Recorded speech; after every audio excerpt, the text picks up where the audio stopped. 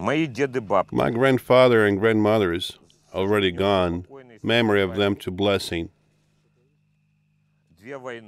Two wars, civil, patriotic. And also they cut my Afghan war.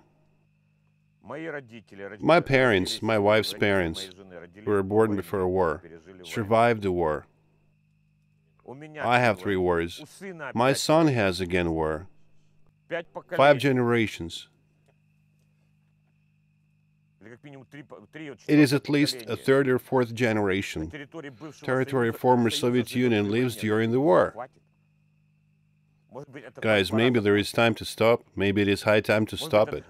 Maybe it is high time to pop this abscess that spreads the wars.